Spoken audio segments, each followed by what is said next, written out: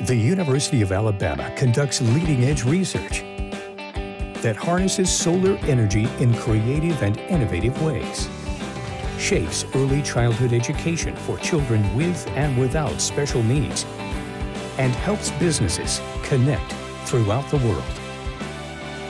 Stimulating education, scientific advancement, and economic growth are what make the University of Alabama the capstone of higher education.